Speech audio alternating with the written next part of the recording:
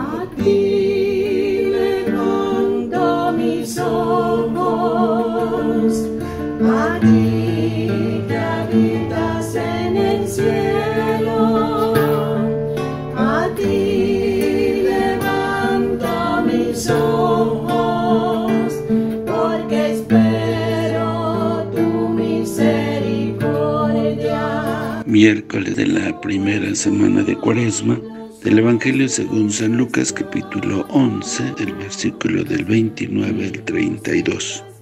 En aquel tiempo la multitud se aglomeraba en torno a Jesús y él se puso a decirles, Esta generación es malvada, reclama una señal y no se les concederá más señal que la de Jonás. Como Jonás fue una señal para los ninivitas, así será el Hijo del Hombre para esta generación. El día del juicio la reina del sur se alzará contra esta generación y la condenará, porque ella vino del extremo de la tierra para escuchar el saber de Salomón, y aquí hay alguien mayor que Salomón. El día del juicio los ninivitas se alzarán contra esa generación y la condenarán, porque ellos se arrepintieron por la predicación de Jonás, y aquí hay alguien mayor que Jonás. Palabra del Señor. Gloria a ti, Señor Jesús. Aparece otra vez un grupo de personas ansiosos por ver a Jesús hacer algún milagro. Jesús les exhorta que tengan mirada de fe y descubran el gran milagro que Dios hace a diario. Este milagro es el de la misericordia. Por eso les dice que la señal que recibirá será la de Jonás. Es decir, así como este profeta fue instrumento de misericordia para con un pueblo extranjero y pecador, asimismo Jesús será el mediador de la misericordia y el perdón para con su pueblo. Los habitantes de Nínive hicieron caso a la voz del profeta Jonás y se convirtieron. La reina de Sabá vino desde muy lejos, atraído por la fama del sabio del rey Salomón. Jesús se queja de sus contemporáneos porque no han sabido reconocer al enviado de Dios. Se cumple lo que dice San Juan en su Evangelio. Vino los suyos y los suyos no lo reconocieron. Los habitantes de Nínive y la reina de Saba tendrán razón en echar en cara a los judíos por su poca fe.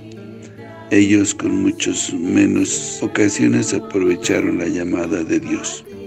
Quien no tenga ojos para la misericordia seguirá pidiéndole a Jesús milagros que le acrediten.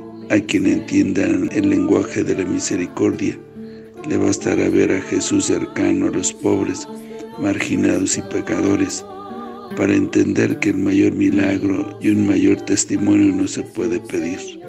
Hoy en día todavía hay mucha gente que continúa buscando los milagros del Señor, en lugar de buscar al Señor de los milagros.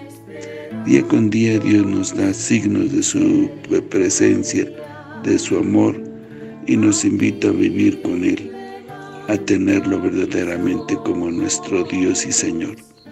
Basta abrir nuestros ojos, sobre todo los del corazón, y nos daremos cuenta de que habita entre nosotros. Los que no lo ven o no lo sienten cercano, generalmente es porque no oran.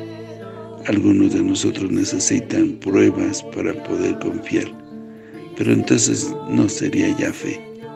Para el incrédulo, incluso las señales y los milagros serán motivo de dudas. Continuará buscando señales. Para quien tiene fe verdadera, una palabra basta. Que el Señor los bendiga. Saciados de desprecio. A ti levanto mis ojos, a ti que habitas en el cielo. A ti levanto mis ojos. La bendición de Dios Todopoderoso, Padre, Hijo Espíritu Santo, descienda sobre ustedes, que los acompañe siempre. Que el Señor los bendiga. Si te gustó este video, y deseas seguir recibiendo el Evangelio, misa en vivo, oraciones y muchas reflexiones más. Ayúdanos a seguir creciendo. Suscríbete a este canal de YouTube. Activa la campana de notificaciones. Deja tu comentario. Dale me gusta. Y compártelo con todos tus seres queridos. Que el Señor te bendiga a ti y a toda tu familia. Bendiciones.